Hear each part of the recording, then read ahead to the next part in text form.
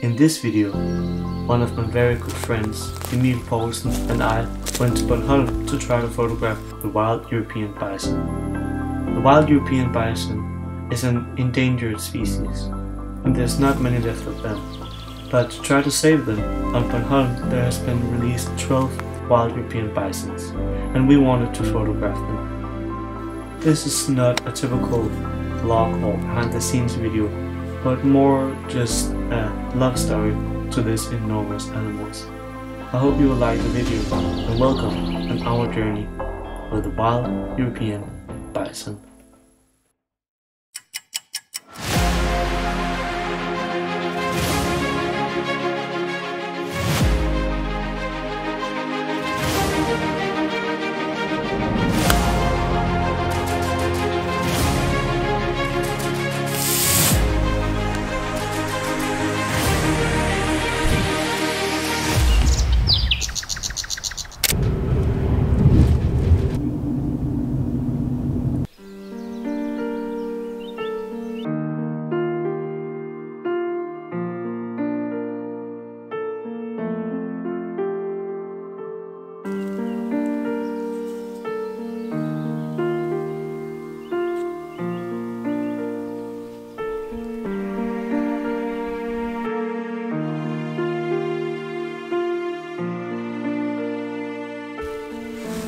Hello everybody, this is our second day here at Bornholm. If you don't know Bornholm, Bornholm is a little island here in Denmark. It's actually closer to Sweden, but it is Danish. And uh, we came here yesterday and we took this hammock and then we stayed here and cooked some food and I am joined by Emil Poulsen. Hey, hey. Who is a good friend of mine. He is also a wildlife photographer. If you don't know him, uh, you should know him. Uh, he's an incredible photographer and have been a good friend of mine for the last two years or so, I think. Yeah. And he has actually just got featured by BBC. It's yeah. quite cool. He's amazing, so. And we have a big day ahead of us, because today we're going to see if we can find the wild bison here on Bornholm. See you.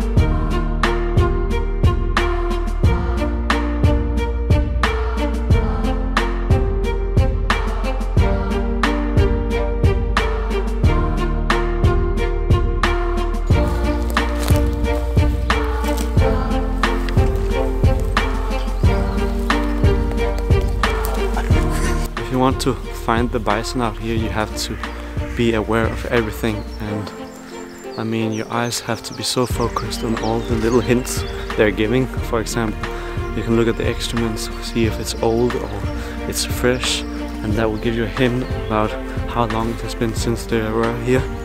But also looking at the footprints, where they're going, and looking like the trees if they have like scratched up against the bark then they could be there as well. So you need to be aware of everything.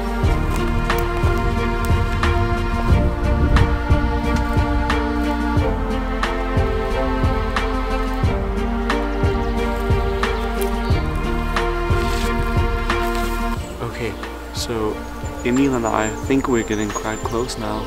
We just found like four or five very fresh excrements and we found a little bit of fur and now this one there's a lot more. It could be the window coating it's dropping off now because that's quite a lot fur but uh, we also heard some sounds coming uh, from that direction which was not just like a deer. It could be the bison but we don't know. But uh, we might be quite close now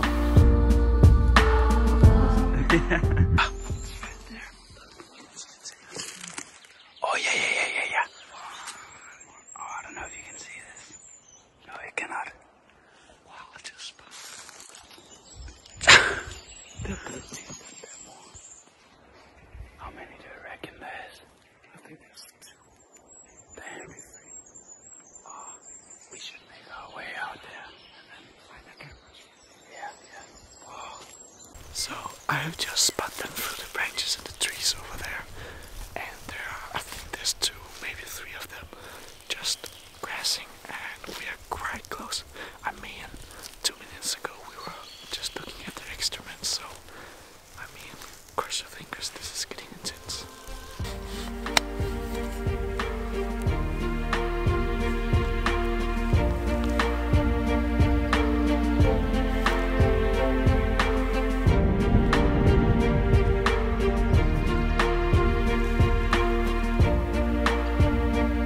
We got quite frightened and scared uh, when it started shaking its head and stamping on the ground and looking straight toward us and started walking but after some time where we have observed them, Emil and I, we found out through our telephoto lenses that it's actually because of all the flies and mosquitoes. They are trying to get them away, uh, so they actually do not care about us at all.